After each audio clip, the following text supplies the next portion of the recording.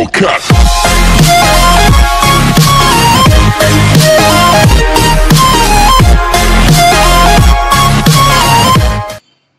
students welcome to the rainbows online classes आज का हमारा सेशन है class fifth subject Hindi.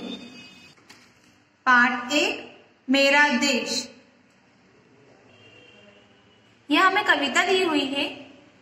सुंदर मंदिर, वीणा बांसुरी, ऊँचे पर्वत, गहन गुफाएँ, यहाँ गूंजती वेद ऋचाएँ, गौरवशाली महिमा मंडित भव्य अनूठा मेरा देश। सुंदर मंदिर, वीणा बांसुरी, ऊँचे ऊँचे पर्वत और गहरी गुफाएँ, यहाँ गूंजती वेद ऋचा यहाँ वेदों की आवाज़ें गूंजती है। गौरवशाली महिमाओं से मंडित हमारा ऐसा अनोखा देश है। बड़े तपस्वी, बड़े यशस्वी, सिद्धनाथ योगी और ज्ञानी महापुरुषों की जन्म स्थली यह संस्कृति की यहाँ मिले निशाने। बड़े बड़े तपस्वी बड़े बड़े यशस्वी सिद्धनाथ, योगी ज्ञानी, महापुरुषों की हमारी ये जन्म स्थली है, जन्मभूमि है, और यहाँ पे कई संस्कृतियों की निशानियाँ मिलती है। जब जब विचलित होते मानव शांति खोजने आते भारत, दूर सदूर देशों तक फैली इनकी सुंदर कई कहानी। जब जब मानव विचलित होता है, शांति खोजने के लिए भारत आता है, दूर दूर दूर तक, देशों तक हमारे भारत की सुंदरता की कई कहानियाँ फैली हुई है। धन विज्ञान से जो नहीं मिलता, वैसा कमल यहाँ पर खिलता, भाव भरे आदर्शों वाला, बड़ा निराला मेरा देश। धन विज्ञान से जो नहीं मिलता, ऐसा यहाँ पर हमारे यहाँ भारत में मिलता है। भावों और आदर्शों वाला, बड़ा निराला, बड़ा ही सुंदर हमारा देश है। वीर सपूत, योद्धा, सेनानी, कविगण, गायक, आत्मविज्ञानी। भांति भांति की है प्रतिभाएँ जिनको देख के दंग रह जाए।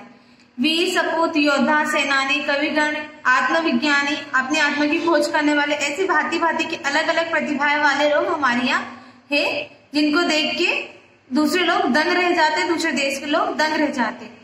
विश्व भ्रमण करके जो आए, वो भी कहे धन्य है, धरती इसमें अलौकिक गंध चढ़ती विश्व भ्रमण करके जो भी यहाँ आए हैं, वो भी कहते हैं कि हमारी धरती धन्य है और यहाँ की गंध, यहाँ की स्मेल बहुत ही अलग है। फूलों फूलों और नई बहारों से हंसता गाता परिवेश, बड़ा अनोखा मेरा देश। फूलों, फलों और नई बहारों से हंसता गाता ऐसा हमारा परिवेश है हमारा माहौल है और ऐसा हमारा बड़ा ही अनोखा हमारा देश है। यहीं पे हमारा ये कविता खत्म होती है। आगे हमारे शब्द अर्थ देखते हैं अनूठा अनूठा का अनोखा। भव्य का, शानदार, यशस्वी का, जिनका नाम प्रसिद्ध हो, तपस्वी, तप करने वाला, विचलीन, बेचैन, प्रतिभाएँ, विशेष योग्यताएँ, परिवेश, माहौल, आत्मविज्ञानी, अपनी आत्मा की खोज करने वाले, महिमा मंडित, महिमाओं से युक्त। अगला है हमारा अभ्यास। इसका पहला है सही उत्तर पर सही लगाओ क। यहाँ अपने देश को कहा गया है। अनूठा या साधारण? अनूठा। यहाँ पे आप सही का निशान लगाओ।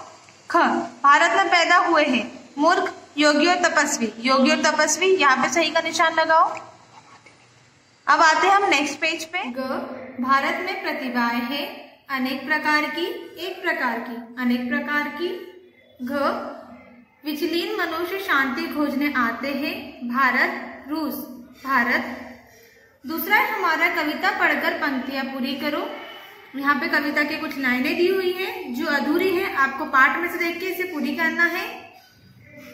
तीसरा है, हमारा निम्नलिखित प्रश्नों के उत्तर लिखो। क, अपने देश के विषय में कविता में क्या क्या विशेषता बताई गई है? उत्तर है, हमारा कविता में अपने देश के बारे में बताया गया है कि यहाँ सुंदर मंदिर, ऊँचे पर्वत तथा गहरी गुफाएँ हैं।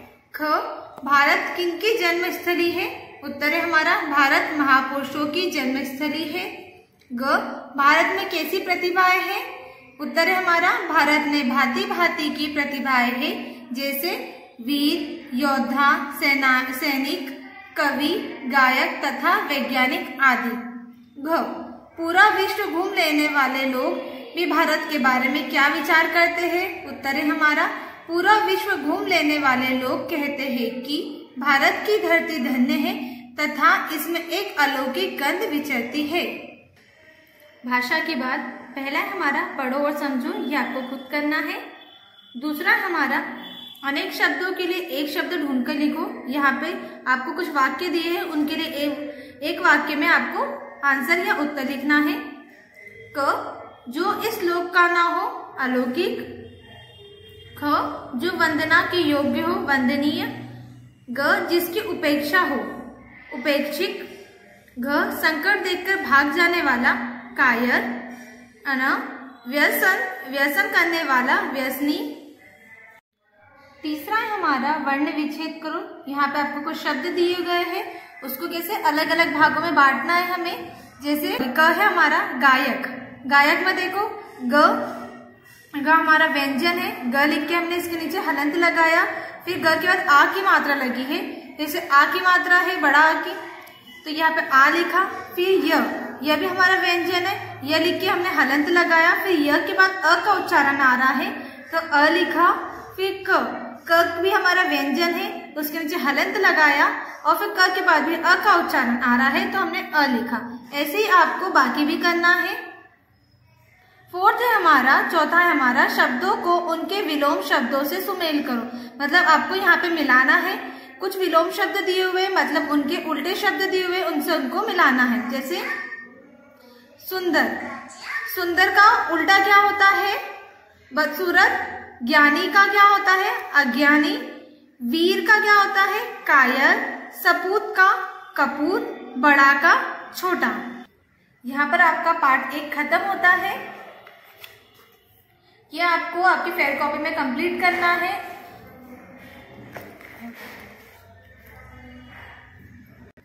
और आपको व्हाट्सएप ग्रुप में इंफॉर्मेशन दे दी जाएगी, तब आपको इसे स्कूल में लाकर चेक भी करवाना है। Thank you